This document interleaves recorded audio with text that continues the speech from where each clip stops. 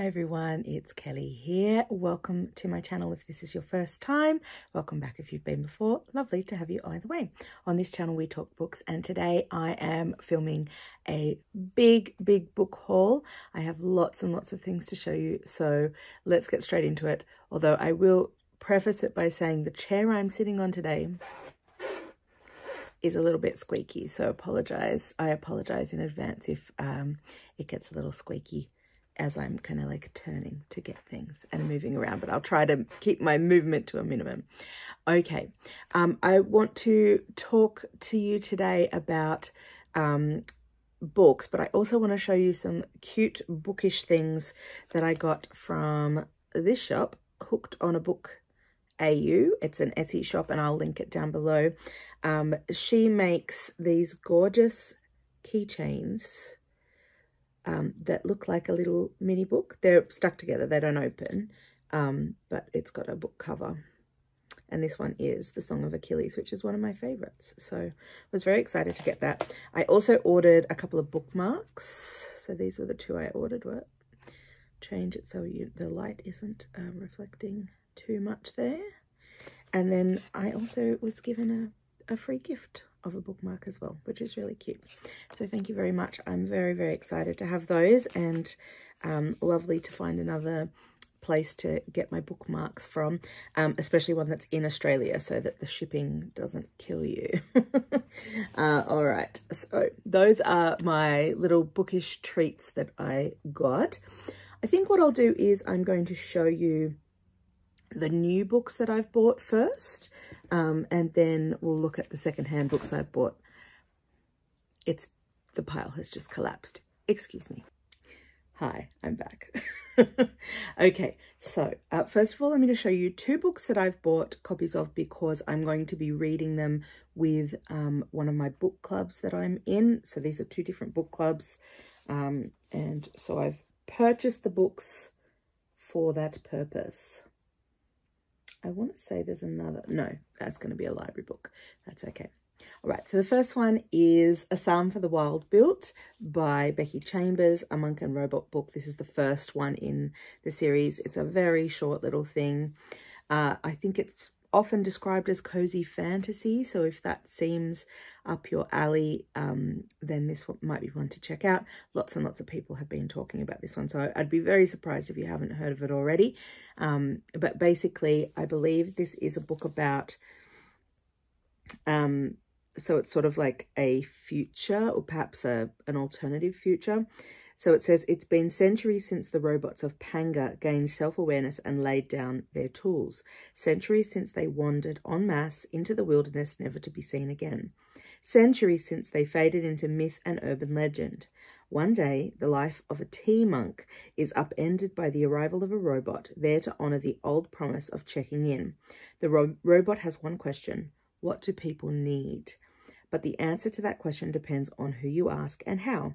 They're going to need to ask it a lot. I won't be reading this one until April, I think, so uh, it'll be a while before I check back in about this book, but I will definitely be reading this one very, very soon. The other book that I bought for a book club, a different book club, is The School for Good Mothers by Jessamine Chan.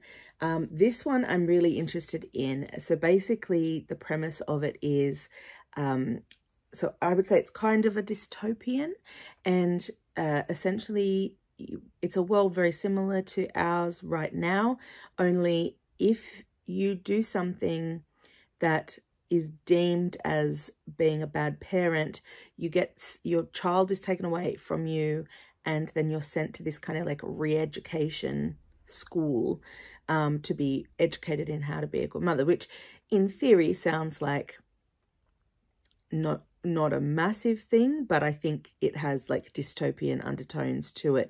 So it's not not everything is as it seems, and perhaps the way that men and women are treated in this these circumstances is different. So, um, you know, it's kind of like one of those dystopians that shines a light on something in society that is like potentially problematic or you know this is where this could go you know like so um yeah i'm interested to read all about that one Okay, those were the two that I've purchased and have arrived this month um, for, uh, that were for book clubs that I'm in, um, that I'll be, so I will be reading those ones very, very soon. Uh, here are the ones that I've bought based on recommendations um, from other people or I've just heard about them and have been really, really interested in them. So I've bought myself a copy um, brand new. So this one, ooh, that's hard to see, is Infused Adventures in Tea by Henrietta Lovell. This is a non-fiction book. Oh, I forgot to check and see what its call number is. I'll put it on the screen for you and it will be down in the um, the description below as well. Um, so if you're that's if you're following along at home for the um, for our non-fiction reading challenge, the Dewey Decimal Reading Challenge for this year. So uh, this is a, um, a memoir, I believe, um, and the author I have not heard of before, but apparently she's best known as the Rare Tea Lady. Um, and she is on a mission to revolutionize the way we drink tea by replacing industrially produced tea bags with an appreciation for the best quality leaves. And I am a tea drinker. I've got um, leaves that I prefer from certain places that I get them. I, am not a massive uh, supermarket tea drinker. So this sort of sounded right up my alley. Um, and I'm keen to kind of like get some insights from her about, you know, particular regions of the world where tea is produced and so on. So I'm very excited to read this one. Uh, then I picked this one up. I cannot remember who recommended this book, but if I remember, I will pop it on the screen for you. Um, this is Wade in the Water by Nyani Kurama. I'm so sorry. I'm sure I have butchered that surname and I'm very sorry. um, this one, the person who was recommending this was like, this is like the one of the best books that they've read so far this year, or perhaps they read it last year. Um, so I was like really, really keen to get myself a copy of it uh, based on that recommendation. And I will put it in um, on the screen for you to say who it was that recommended it, because I'm sure I'll be able to remember by the time I come to edit. So, a stunning literary debut featuring two unforgettable people uh, resonant with the emotional urgency of Alice Walker's classic Meridian and the poignant charm of Sue Monk Kidd's The Secret Life of Bees, Wade in the Water tells the story of an unforgettable summer in 1982, seen largely through the eyes of Ella, a young, mistreated black 11-year-old girl who lives with Leroy, who resents her, and Ma, who cannot stand to look at her. Ella's world is changed when Catherine St. James, a mysterious white researcher from Princeton, arrives in their racially divided Mississippi town. Uh, so it sort of I looks like it might be kind of like an interesting friendship between two unlikely friends. Um, so yeah, that that sounds really interesting to me. I, I don't know Meridian um, that it was compared to, but I have read The Secret Life of Bees and did enjoy it like many moons ago when I when I read that book. So that's Wade in the Water. Um, then, I'll show those ones at the end. Uh, here's this one. Okay, so I've got Emily Wilde's Encyclopaedia of Faeries. Um, I don't know that I saw anyone recommending this one necessarily, but I saw people talking about it, a few few different people now, and I it just sounded really up my alley, so I bought myself a copy. Very excited about this one. Um, so this is about a woman who's writing an encyclopedia of fairy lore, which sounds really cool. Uh, this is one that I also heard being um, recommended, and again, I cannot remember who it was, but it's Big Swiss by Jen Beagin? Beagin? Sorry if I, I am not sure. Um, and this sounded so interesting to me. So basically this is about a woman whose job it is to, she transcribes for a psychiatrist, I think it is, um, his sessions. And so she's just handed the recording and she has to transcribe them, you know, into the written word. And so she doesn't know any of the people she's not involved at all but she um there are there's and she has like code names for some of the people that um that are the clients that he sees and then uh, one of them she calls big swiss presumably because they have a, you know, Swiss sounding accent or perhaps it's mentioned in one of the first transcriptions that, you know, that they're from Switzerland. So she calls this person Big Swiss and um, then, and, but, and as she's listening, she starts to kind of like fall in love with this person just from listening to them talk about their life. And then she hears out in the wild, hears the voice and recognizes the voice. And so then it sort of becomes this like weird uh, affair relationship situation where she knows more than the other. So anyway, it just sounded intriguing to me. So I got myself a copy of that one. And the other one that I've heard lots and lots of people talking about on the internet that I had to get myself a copy of was The Secret Society of Irregular Witches by Sangu Mandanna. And this uh, is again, I has been marketed to me at least, I don't know if this is the intention of the author, as a cozy fantasy. Um, so I'm quite interested in this one. I believe this is the one where we've got, um, a, uh, it says on the back, live-in tutor wanted for three young witches, must have nerves of steel, previous teaching experience not necessary, witchiness essential, um, which sounds so fun. Um, so essentially this is a woman who is going to kind of be a governess um, of some description to young witches, which sounds really cool. Um, then I've got two books here that I bought brand new, but they're part of um, the, I bought them from a book bookstore called Amplify Bookstore, and they have a sort of um, subscription that you can um, join and I this was the first time I've received books from them. So the one that I got is the Discovery Pack and this is um, essentially books around the world um, or that are from and from different regions. So they have a focus for the for that um, month. I think it comes out every every two months, um, but you get two books as part of that. So um, and also some art. So I I got this this art as well. Um, I hold this over on TikTok and Instagram. So if you follow me, if you don't already follow me there, my links will be below um, for those two platforms. Um, so you can have a look at everything that was in the pack. Um, but uh, the purpose of Amplify Bookstore is to amplify voices of, you know, marginalized or, you know, uh, people from other countries, you know, it's, so it's not just white people, um, which appeals to me quite a lot because I, I do like to try to diversify um, what I'm reading as much as possible. Um, so the two books that I got in my discovery pack in February were these two. So we've got Shastra Deo's The Exclusion Zone and The Matchmaker by Saman Shad.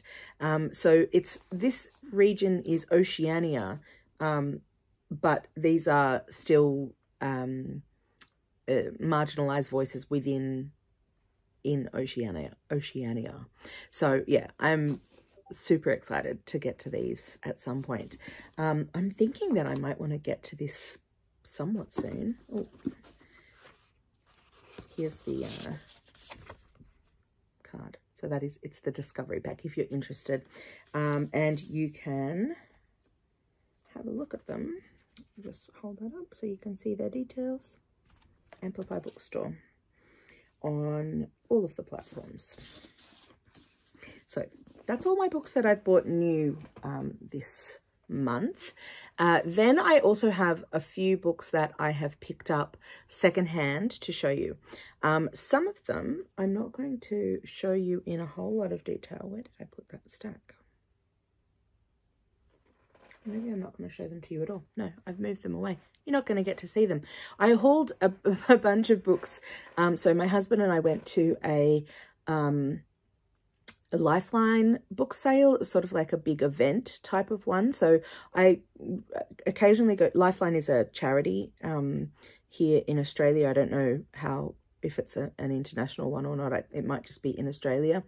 Um, and uh, they do books. They have like just normal secondhand sh shops as well that are like, you know, a mixture of secondhand things. Um, but they have book specific ones. So they sort of like specialize in books, I guess. And um, they every now and again will run these kind of like in a big community hall type of situation, um, big sales. So we went to one of these big sales and I bought a bunch of books there. Um, again, I hauled these over on Instagram and BookTok, TikTok, Bookstagram, BookTok, Instagram, TikTok. Um, so if you want to have a look at what I got, um, you can go and have a look over on my page. The links will be in the description below. Um, so I'm not going to show those to you again, uh, but I do have some more books that I've picked up secondhand. Um, so the first little stack that I'm going to show you is from Sappho Books. Um, so there's their bookmark. Uh, this is uh, in a suburb called Glebe in Sydney and it's a secondhand bookshop that's been around for quite some time. Um, and they have a really good selection of secondhand books. I would say they're sort of on the pricier end of secondhand books. Like they, they sort of know what they've got, so they'll price accordingly. But I managed to find a few, um, you know, really good things that I was very interested to get to. So the first one is Coonardoo by Katherine Susannah Pritchard. I heard about this book um, when I was reading Books That Made Us, um, and I will link in the cards to the video where I talked about that book. So this is one of the books that was mentioned in that book um, that sounded interesting to me, so I thought I'd grab it. It's about, um, essentially, it's set in the past, and we've got an Aboriginal, an Australian Aboriginal woman who falls in love with a white, um, you know, cattle man. And uh, he sort of also has feelings for her. But of course, at the time, there was a lot, there's a lot of um, stigma attached to that. So, you know, it's uh, potentially going to be a doomed love story. I'm not sure. Um, but yeah, I'm really interested to read that. So as you can see, it's a very old, um, an old copy because it's an old book. Uh, let me see when it was published. First published in 1929, so it's been around for some time. So this is part of like our Australian um, you know, literary history. So I'm really interested to read that at some point. Um, I believe I already hauled a copy of this book, but it was the, um, the cover was the movie tie-in edition, which I'm never a fan of for the most part. So I found a really nice copy of Our Souls at Night by Kent Haruf, and I am very excited to read this one. It's a quite a skinny book, so it shouldn't be a, a huge read, but I'm really interested in um, having a look at that one. Uh, another one that I found there was No One Is Talking About This by Patricia Lockwood. This was nominated for and shortlisted, I believe, for the, yes, shortlisted for the Women's Prize in 2021. Um, and it was also shortlisted for the 2021 Booker Prize. Um, so this was a very well-liked book um, from 2021 that I'm really interested to have a look at. And I believe this is the one that's about um, social media. Yeah, social media. So it's a, apparently quite a nuanced look at things um, that isn't like social media terrible. Um, it's just sort of like looking at things in a more nuanced way. The other one that I got that I was quite excited to get was this one, Wood Green by Sean Rabin. I already own a copy of this on the Kindle, but it was a five-star read for me. And as I've mentioned in a previous video, I have started to collect my five-star reads because I, and if I didn't already have a physical copy of it, I've been looking for it. This is really hard to get now. Um, so when I saw this, I, it was one of those moments when you're in the shop and you go, like you audibly gasp because you find something really exciting. And every single, this happens to me all the time. Every time that happens, it's like I have to get the book off the shelf as quickly as possible. So like I'm like really quickly getting it off the shelf like an idiot. Um, so yeah, that happened in Sappho Books in Glebe. So that was fun. Um, but yeah, I was very, very excited to get myself a copy of this. Um, so this is all about a guy who is an aspiring writer and he takes a job as the secretary to his literary hero, hero, hero, um, Lucian Clark, who is a novelist that's like quite reclusive, um, lives in Tasmania in a sort of like remote cottage in Tasmania. And um, then it's sort of like there's a few people in the town that are part of this book as well but it's really weird. It gets weird. So yeah, I really enjoyed this back at the time when I read it. So I'm going to potentially read this again, um, but very happy to now have a physical copy of a book that I enjoyed so much.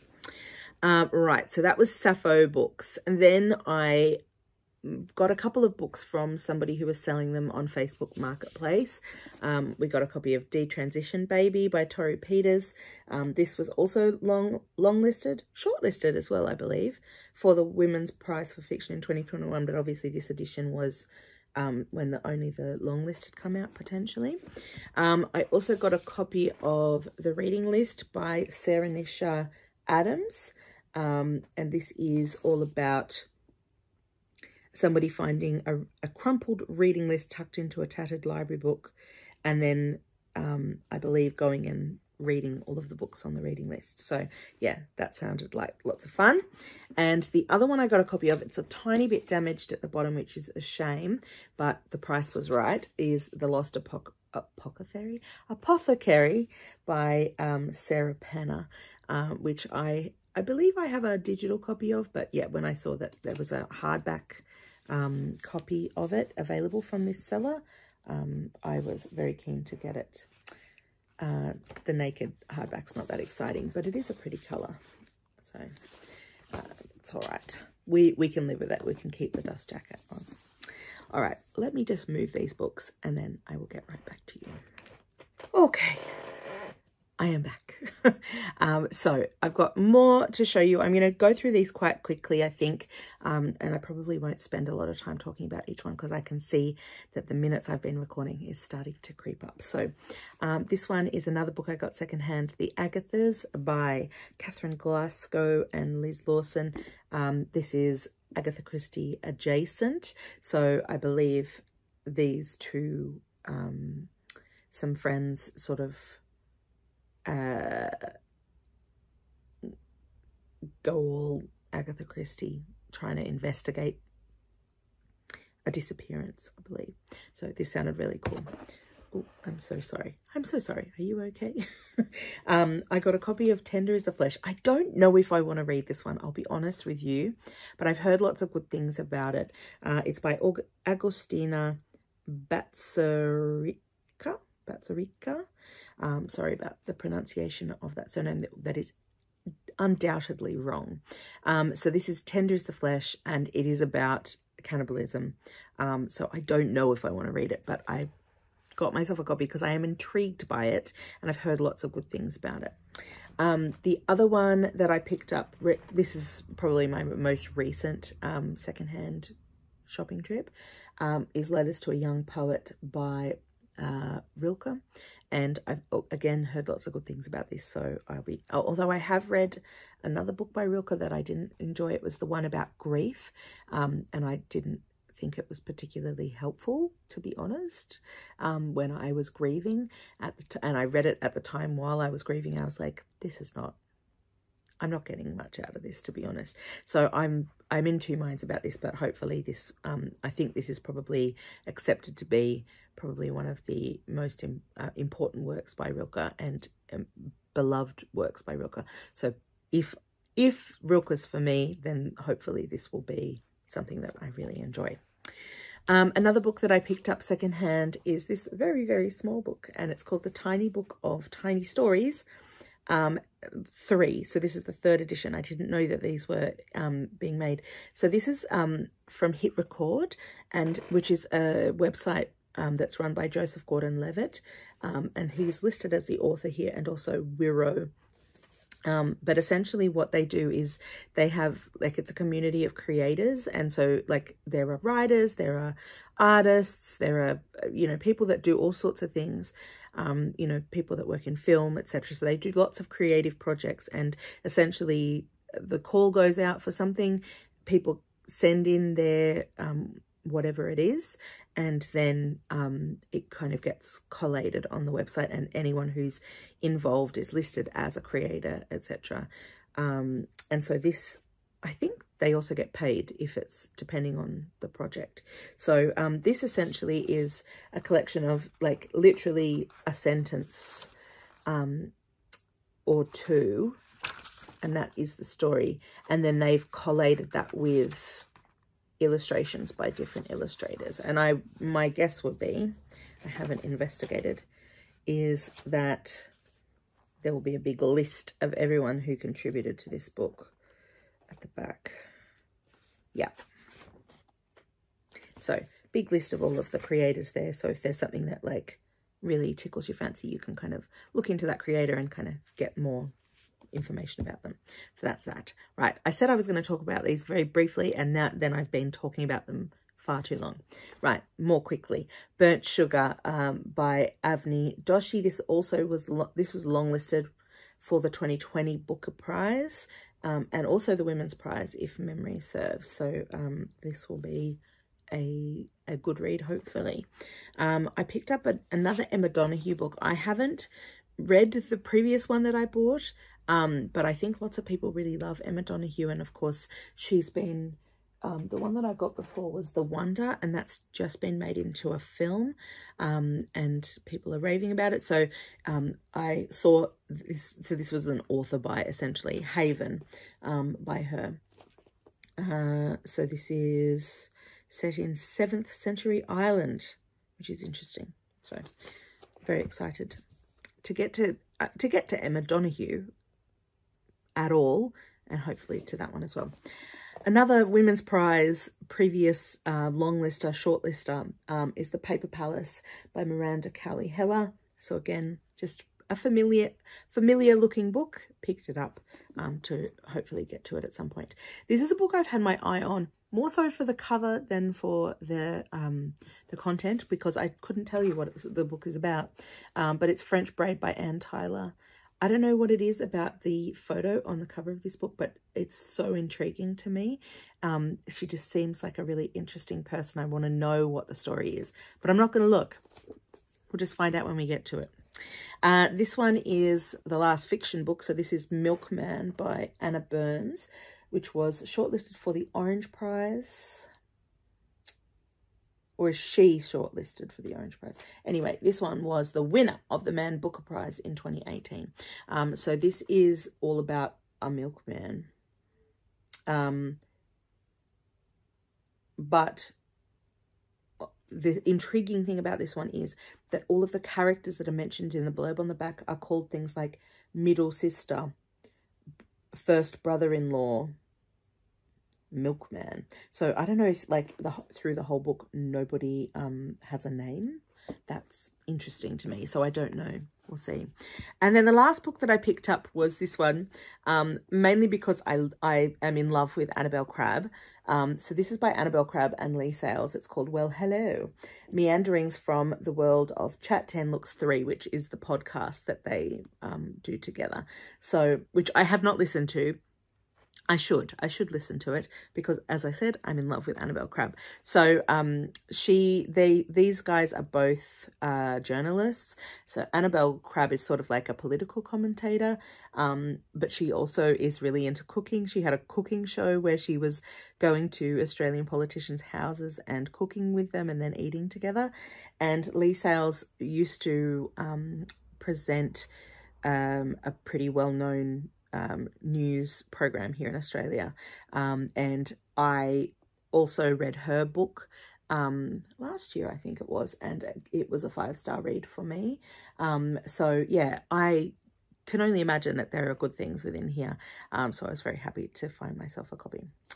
So that is finally it for my book haul for February. Thanks so much for watching. I hope you enjoyed this. I'm not going to attempt to hold up the books because there is no way I can hold up that many books um, in one go. Uh, but I hope you enjoyed this video and I look forward to seeing you on the next one. Bye.